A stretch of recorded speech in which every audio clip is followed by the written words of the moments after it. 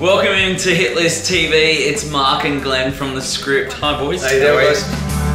I leave the door on the latch if you ever come back, if you ever come back. You guys are boys out of Ireland. Another big band, U2 Is it mhm. true you guys don't really like the comparisons? No, I mean, it, I think it's just, I think it's just lazy mm. reporting. Yeah. To be honest, I mean, to to see three guys carry instruments from Ireland, you're automatically going to think U2, and I think it's so easy to say that.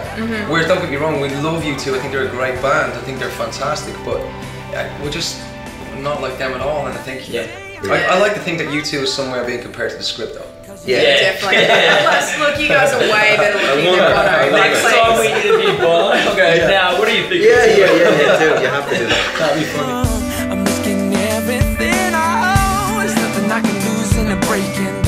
To it, it's sold out, Yeah. Yep. which is exciting. And we've amazing. spoken to you guys quite a few times before. I know you love to party. Are you living up to that reputation in Australia? We, yeah, well, we were out till nearly 5 a.m. this morning, so I suppose you could say that. It was uh, Party?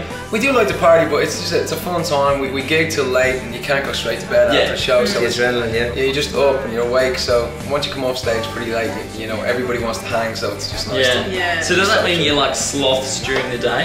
yeah, we're pretty much like Yeah, hibernating. pretty much so, yeah. Well, you look pretty good now. You Yeah. smell good. So, We, we, We try. We try our best. hey, good Charlotte are in Australia at the moment. You haven't run into those boys, have you? no, we haven't. No, Same. no. Because I heard they had a 4 a.m. night last night as Did they? well. Yeah. Yeah. Nice. They were probably at the same spot we were. If you ever come back. Let's check out the script now on Hitlist TV.